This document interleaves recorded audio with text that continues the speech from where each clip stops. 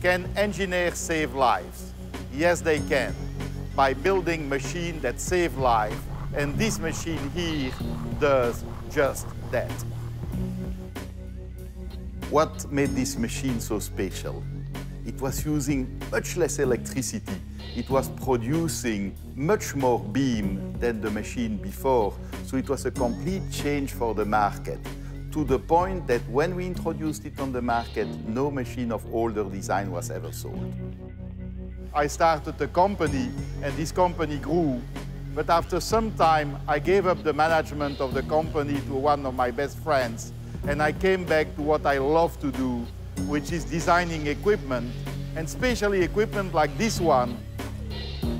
We are now looking inside one of the cyclotrons we use to treat cancer. Protons are accelerated in the shape of a spiral with increasing radius.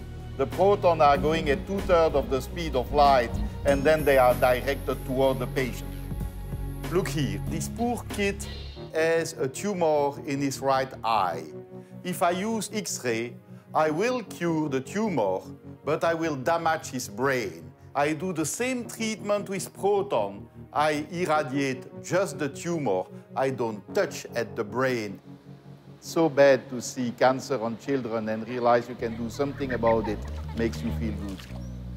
Developing proton therapy has really been the task of my life. I have spent timeless hours, you know, sitting in this machine, changing piece to make it better. So this machine is really my baby.